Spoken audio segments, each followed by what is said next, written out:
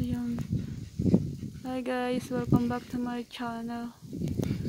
Lakas po ng snow ngayon. Ah, parang may blizzard. Yan po. Ang lamig.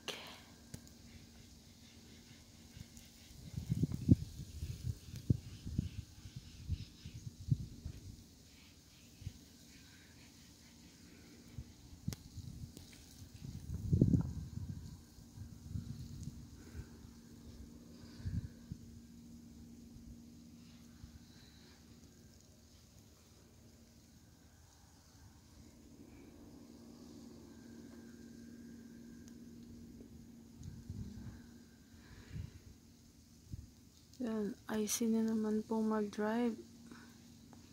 Sobrang lakas po ng snow ngayon.